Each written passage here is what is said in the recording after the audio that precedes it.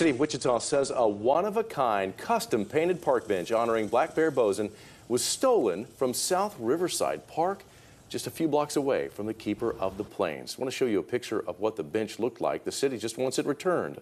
No questions asked. It's really frustrating, upsetting, disappointing when that vandalism happens and people are stealing parts of the park. Um, and this was uh, something that was paid for by taxpayer dollars, but also um, Heather Byers, the artist, she put her hard work into it as well. Again, the city just wants it back. No questions asked. If you have it, return it. Well, you can call the number on your screen if you can help out.